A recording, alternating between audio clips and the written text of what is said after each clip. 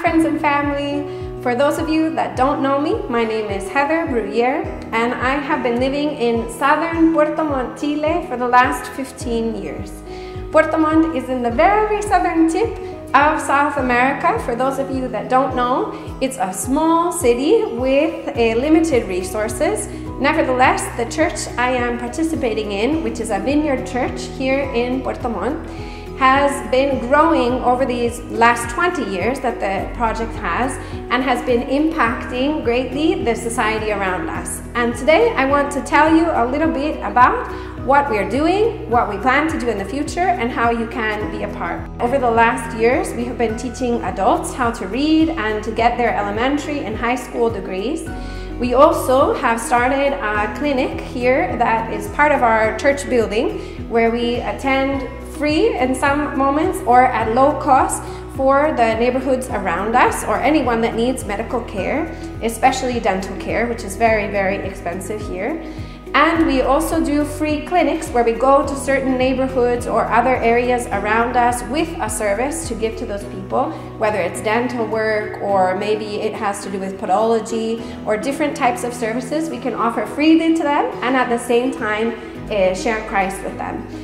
We also currently have a school that's been here for four years now, where we have preschool up until next year seventh grade students. I currently am the principal at the school.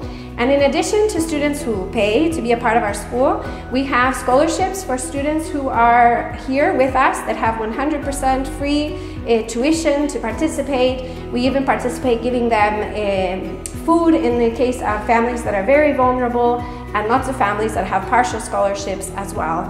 And our goal with this school is to protect uh, the future generations from a lot of the things that are going on out, outside of the, the walls of our church and to train them to be future leaders that love Christ. We also have a service where we give out boxes of food to families in need weekly by the donations that are received every Sunday at church from families that participate here with us.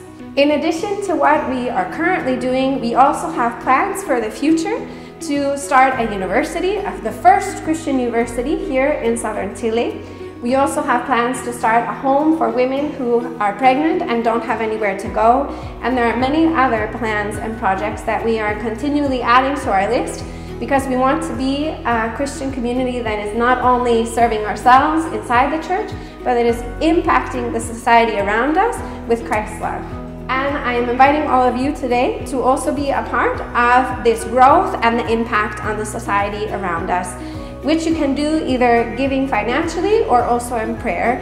And if you're interested in participating, you can let us know and we will send you the information to be a part of what is God what God is doing here in Puerto Montt, Chile.